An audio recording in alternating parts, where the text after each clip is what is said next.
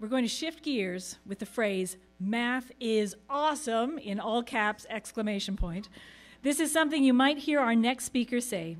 Just take a look at his Twitter handle at easy as 314159.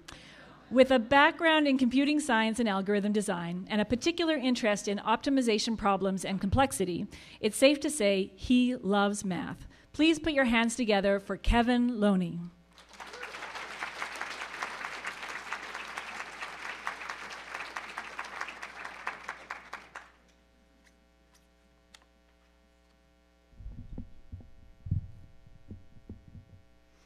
There's a lot of math, math in this one.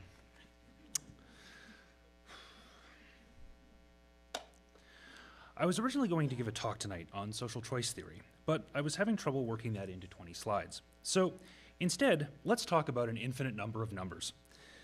I did this little calculation in my head, and since there are an infinite number of infinities, as long as I only talk about one infinity in that infinity of infinities, then I've distilled my talk down to nothing. And so tonight I'm here to tell you that because math is weird, we don't know any numbers. At this point, most of you are probably sitting there thinking, I know some numbers. My phone number is a number. The prices at the concession stand outside are numbers. These are very valid thoughts, so let's spend some time tonight informally proving why your intuition is incorrect and dive right in with the whole numbers. So, this is all straightforward stuff that we all probably learned early on in school. One, two, three are in here. The prime numbers are in here. Your phone number is in here. Graham's number is in here, which was first used in a proof in 1977 and is so large if you tried to write out all of its digits, the universe would collapse into a black hole. Another thing you probably learned early on in school is fractions, or the rational numbers. All the whole numbers are in here because they are just themselves over 1. Anytime you've had to pay for something, the price is in here. Outside the circle are the irrationals, and we can't represent them as fractions. For most of us, these are the everyday numbers, but what you might not know is they're kind of weird. The whole numbers are completely contained within the rationals, and there are numbers that are rational that are not whole numbers.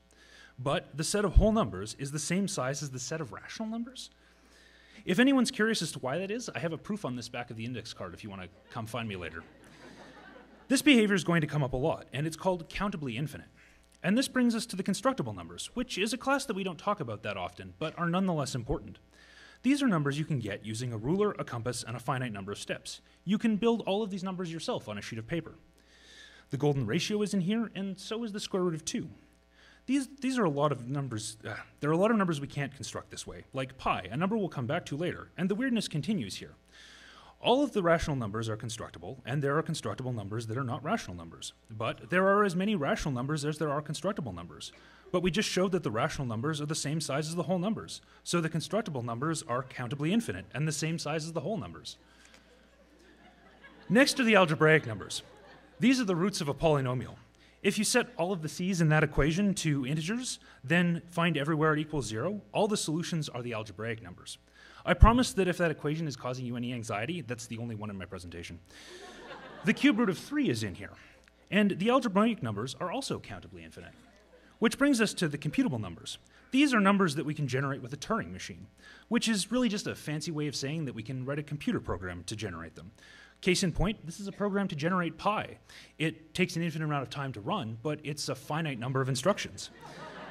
Computable numbers are also countably infinite, so there are as many of them as there are whole numbers. And by now you're probably thinking, we sure have talked about a lot of numbers, and clearly we know some numbers. But I have a surprise for you, because we've started to reach the edge of the map, and beyond this point are dragons and fantastical creatures. Alan Turing showed in 1936 that there are numbers we cannot compute. We can only represent them by writing out every single one of their digits. Finally, let's talk about the normal numbers. If you were to write them out, every one of their digits would be roughly distributed unifor uniformly. We know of a, a, few normal numbers, and they have almost all been artificially constructed. For example, Champernowne's constant and the Copeland-Erdős constant, which are just the whole numbers and the prime numbers glued together. But they are both computable. What about a number that's normal and uncomputable?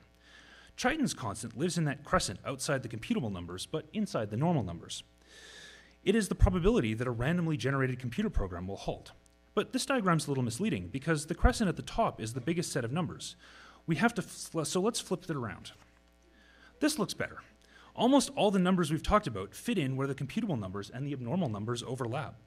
And we've left the realm of countable infinities. Everything outside the computable numbers is uncountably infinite. But what does that mean? Let's informally put all this together and find out how all these numbers amount to nothing. Let's start with two lines. Count the numbers on the, uh, the points on each line. Which line do you think has more points? Hands up for A.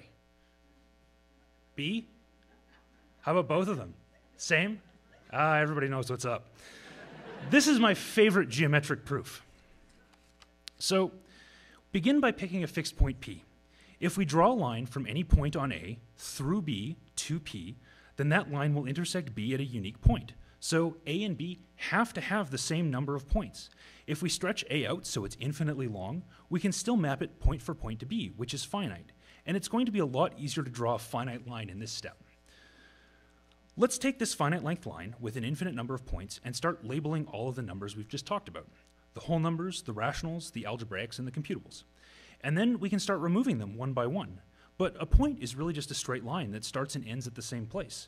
So we have this line and we start removing pieces of it that have no length. And when we're done, we're still left with the line.